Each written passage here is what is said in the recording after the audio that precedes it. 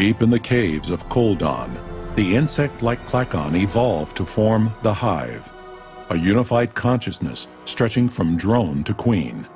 As such, the industrious Klackon have no individual needs, no desires, and no ambitions other than the benefit of the hive itself. This effectively makes them tireless workers and fearless warriors, each and every one willing to give their lives for the hive. Having nearly exhausted their home planet, the hive has begun its galactic expansion in search of more resources and room to grow.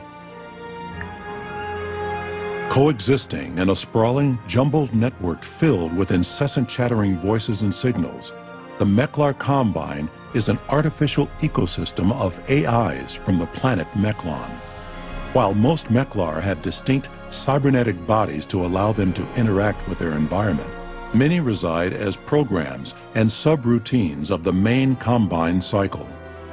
Ruled by the Overseer routine, they are industrious, capable of producing infrastructure and large fleets in a very short time. But the constant buzz of opinions and endlessly iterating cycles of application requests and updates make them erratic and unpredictable.